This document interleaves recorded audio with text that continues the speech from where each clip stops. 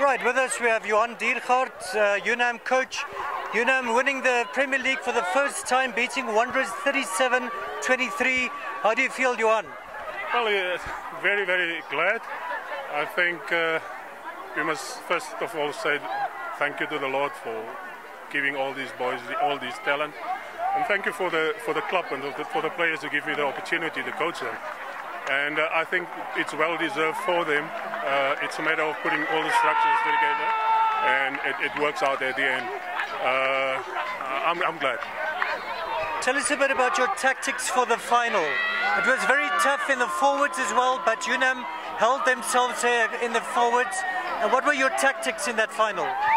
Well, we, we, we didn't want to deviate from our previous games, the same game plan, same structures. Uh, it worked out this time around, specifically in the lineouts and in the scrums. Uh, and then, then we have a, a, lot of exciting backs, and, and I think they did, they did very well and they made us proud. Right, and Johan, do you think this is the start of a dynasty, or do you think this team can go a long way still? As I said previously in the week, I think uh, uh, if we can keep them together, they can dominate the league for, for some seasons now. Well Well, uh, some beers, yes. Thank you. well done, you are. Thanks.